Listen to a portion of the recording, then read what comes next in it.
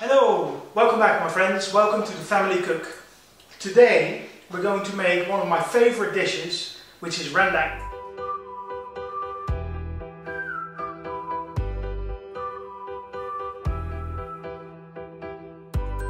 I have a kilo of beef here, you could use less or more, but I prefer to make a batch so it's enough for multiple meals.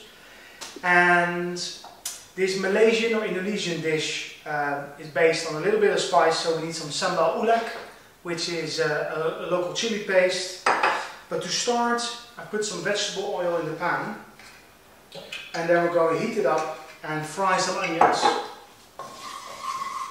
So let's chop up some onions. Um, so because I'm using a kilo, I've doubled everything from my original recipe, which is for half a kilo. Uh, normally when I make this, I don't just serve rendang with, uh, with rice, right? I mean, um, when I went to Indonesia, I remember that you know meat comes at a premium. So whenever you eat, you get a little bit of the meat dish and a lot of rice and a lot of vegetables around that. Um, in fact, when you go to Indonesia, there's something um, that the Dutch call, and I thought just the Dutch, but apparently locally as well. It's called a rice, rijsttafel, a rice table, and it's basically sort of a local version of tapas. I absolutely love it. Now, when you have, when you go to the Indonesian restaurant and you have this rice table, the rijsttafel, um, you, or at least in the West, you get like loads of different dishes from all the different islands and it's, it's absolutely beautiful and it's a very wonderful, tasty, extravagant treat.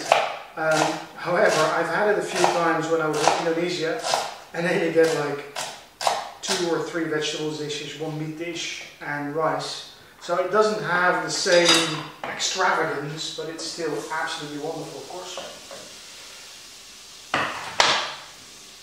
Okay, so let's also try the other one.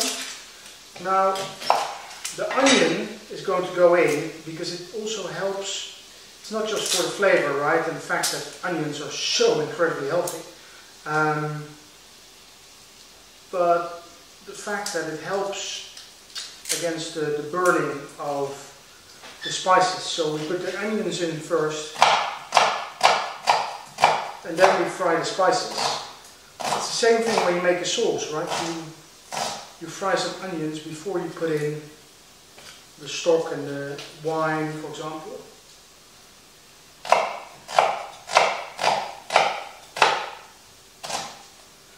And when you chop up the onions, make sure that you don't go into the root too much because that is what makes you cry.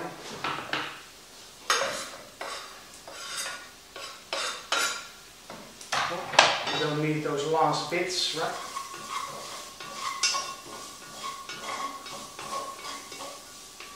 Okay, it's a little bit low on oil.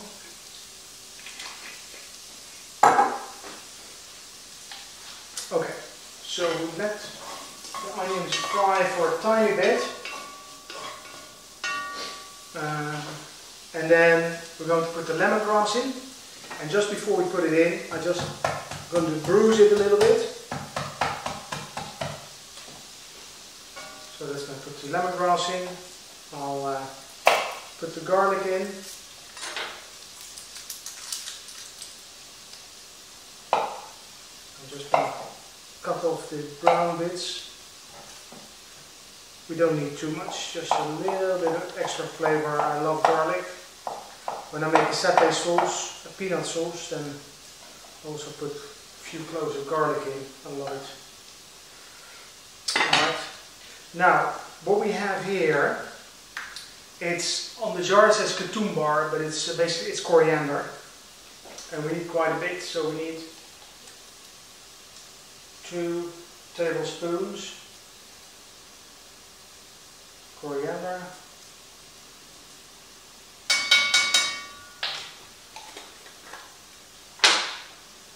Then we need This is, uh, it says kunyit, but that's basically uh, turmeric. And so we need half of what we put in the uh, of the coriander.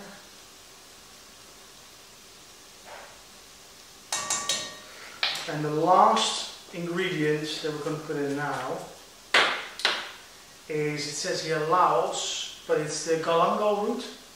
So if you go into Chinatown, you'll find the galangal root. It's sort of a, uh, similar to ginger, but it's a little bit more, it's not as spicy as ginger. So normally you put a piece of root in, but I just have the dry powder form here.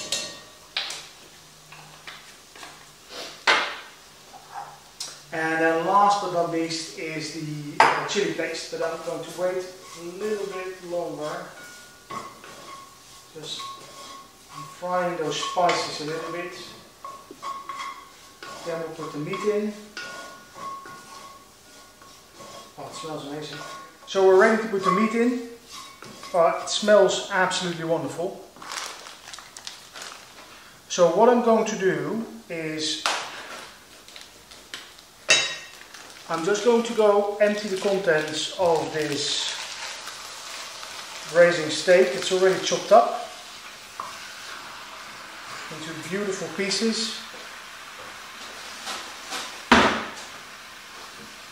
And I'm going to stir it around a little bit and then I'll add the creamed coconut. Or if you use coconut milk, that's the moment you can add the coconut milk.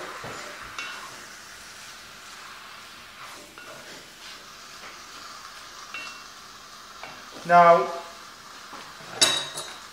because I use creamed coconut, I also need to add some liquids. So I'll add the creamed coconut. It's half a pack, so 100 grams.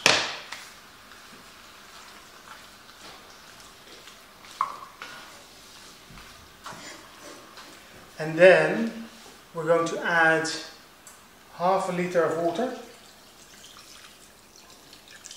So I do half liter with 100 grams of creamed coconut. Now if you use coconut milk, I will just use tin, maybe a tin and a half is usually 400 ml.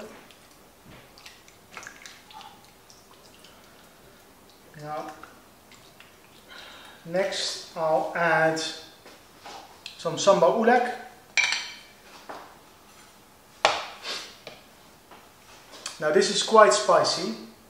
What I usually do is I'll do one large tablespoon per half kilo. So a kilo of meat, I have two large tablespoons.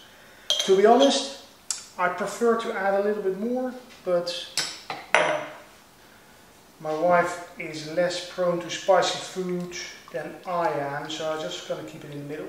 You do want a little bit of spice in there, of course. That's that's so key to the whole rendang experience.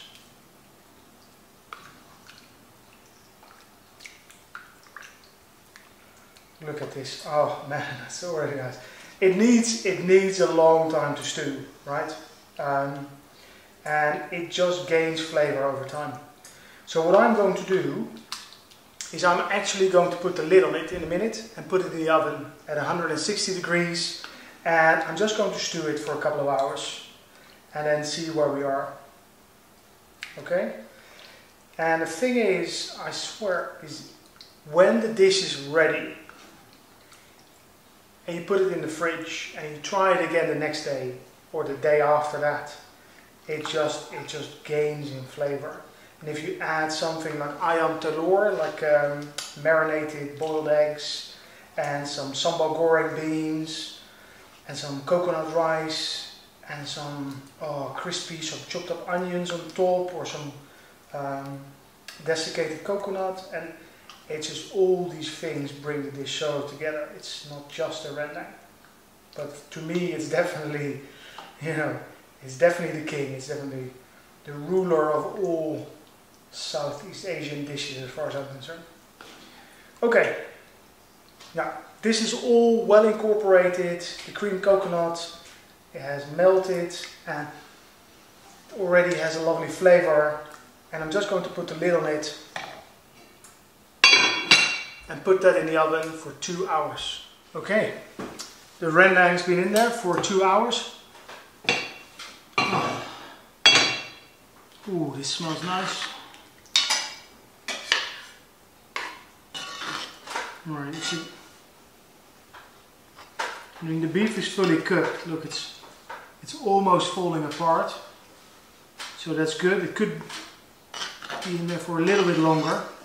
So what I'm going to do instead is I'm going to put this on a low heat without the lid so it can thicken a little bit and I'll leave that for about half an hour and I think the rendang will be done by then. Okay, so it's bubbling away at, at a very mild, very low heat. Um, I also think there's quite a lot of uh, oil film, you, you can leave it, it's not the end of the world, but you can also take it off if you want.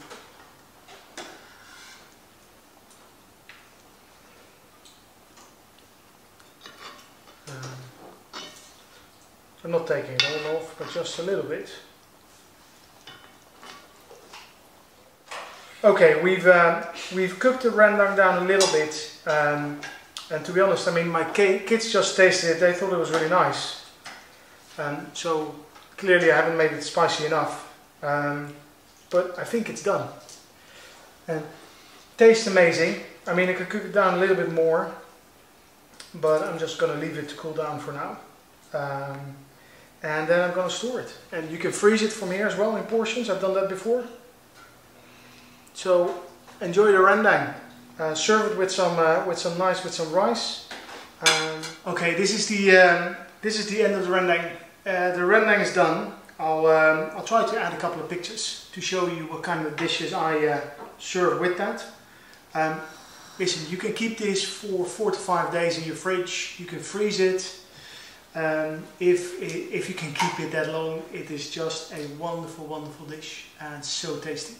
So please try the rendang and I'll see you next time on the Family Cook.